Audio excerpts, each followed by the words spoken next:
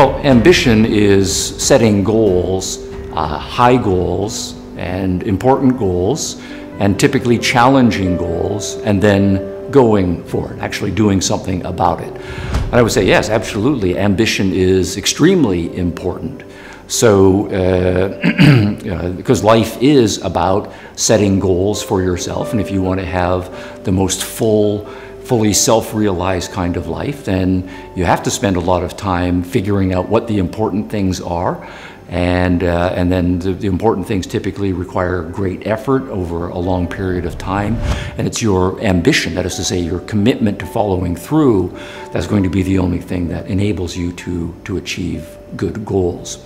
So if you think, for example, you know, there are, there are lots of people, uh, let's start with, a, say, a simpler example. So uh, as we are recording this, we're toward the end of a calendar year, and a new calendar year is, is important. And suppose I say, I am not in as good physical fitness as I, as I should be. Maybe I want to lose a little weight, maybe I want to get some more muscle tone or some endurance.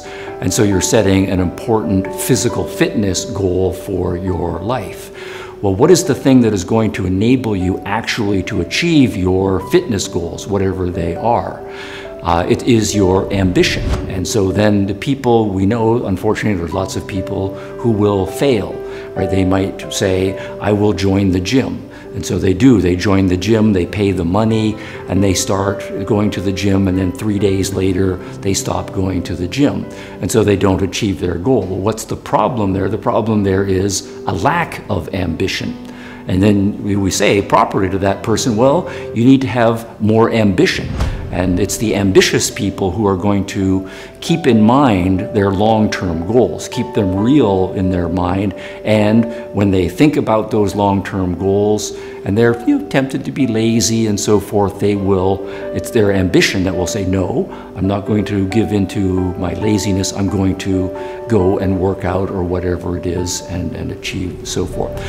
And that's because life for human beings, you know, we live for a relatively long time and the kinds of goals are careers. It takes many years to develop a career.